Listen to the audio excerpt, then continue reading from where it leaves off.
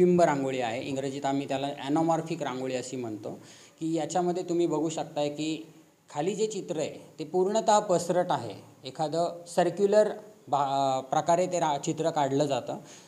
प्रत्यक्ष पाहिले तर कळणार नाही काय चित्र आहे. पण आपण जर मधोमध तिथे तो सुपर फिनिश पाईप ठेवला तर त्या पाईपमध्ये त्याचं प्रतिबिंब उमटतं आणि आपल्याला कळतं की ती ॲक्च्युअल इमेज खाली काय काढलेली आहे. अशी ही प्रतिबिंब रांगोळी तुम्ही पाहत आहात. ही जी रांगोळी काढलेली या रांगोळीसाठी जवळपास दहा ते बारा तास लागलेले आहेत की ज्याच्यामध्ये सुरुवातीला चित्र निर्माण करणं की हे चित्र पूर्णतः अशा पद्धतीने रेखाटलं जातं की ज्याच्यामध्ये हे असं स्क्यू केली जाते इमेज सर्क्युलर इमेज छोट्या कागदावरती ड्रॉ केली जाते की त्यानंतर ती मोठ्या स्वरूपामध्ये एनलार्ज केली जाते आणि एनलार्ज केल्यानंतर आपल्याला त्याच्यात रंग भरायचे असतात आणि ते दहा ते बारा तासांचा हा प्रवास पूर्ण चित्र करण्यासाठी लागतो.